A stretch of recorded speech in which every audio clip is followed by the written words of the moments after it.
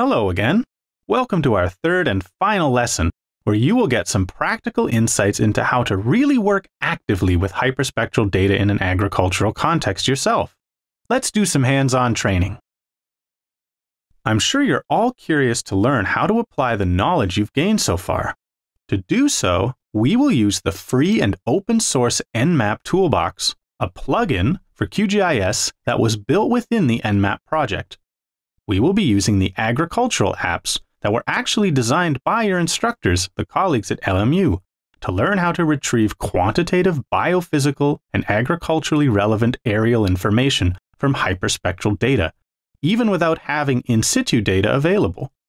To do so, we first generate a synthetic training dataset. Of course, a well reasoned distribution of the variables in the training dataset must be considered.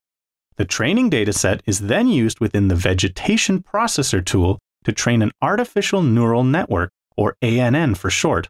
This ANN will then be applied to an airborne hyperspectral image to generate spatial maps for several variables like LAI, chlorophyll content, leaf mass area, and average leaf angle.